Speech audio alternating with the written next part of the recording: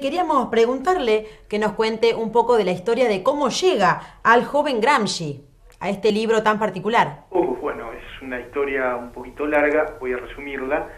Eh, en el año 94 empiezo siendo muy joven, este, me conecto con, tuve la suerte de conectarme con un intelectual de mucho prestigio en Argentina que fue Emilio Corbier, que me vinculó con la obra de Gramsci.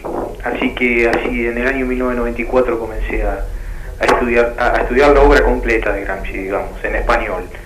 Hasta que en el 2005 este, el propio Corbier ya me, había indicado de conectarme con la Embajada de Italia, precisamente con la biblioteca de la Embajada de Italia, para empezar a actualizarme respecto a cómo eh, en Italia se estaba trabajando la obra de Gramsci. Así que me puse a aprender el idioma italiano y ahí en la, en la biblioteca de la Embajada de Italia empecé a actualizar eh, una lectura que estaba bastante retrasada en lengua española.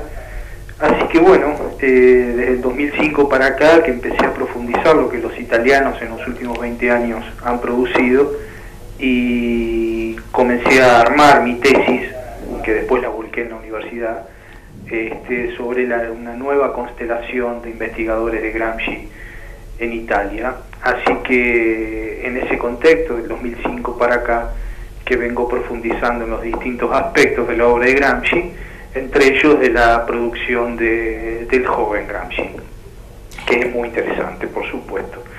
Este, así que bueno, ese, ese más o menos sería así muy, muy a grosso modo la historia de mi, acercante, mi acercamiento a la temática. ¿no? La verdad que es impresionante la cantidad de tiempo que lleva y de trabajo que lleva este tipo de, cosas, ¿no es cierto? Eh, cuéntenos un poquito eh, sobre si este libro ya se presentó o se presentará en este año.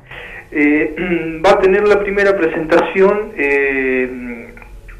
ahora el 31 de mayo en el ámbito de un organismo del CONICET que se llama SEUR CONICET, que es el Centro de Estudios eh, Centro de Estudios Urban, Urbanos y Regionales, del CONICET, que me han invitado a, a, digamos, a dar como una conferencia donde yo pueda contar con todo el detalle posible cómo fue este proceso de abordaje de la obra de, de, de, Gramsci, de, los, de la producción de los estudiosos gramscianos de los últimos 20, 25 años en Italia, que me llevaron primero en el año 2016 y luego en el año 2018 a tener este, dos, dos instancias de investigación en el Instituto Gramsci.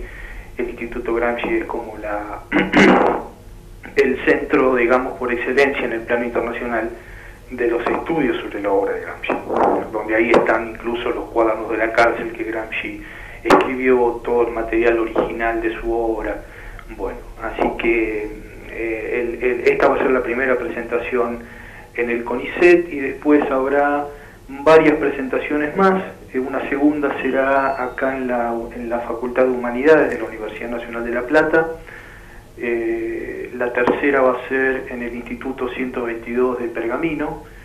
Y la cuarta va a ser en Salto, que está programada, por lo que me han dicho los organizadores, está programada en Salto para el 27 de junio, para el jueves 27 de junio en el Colegio San Martín.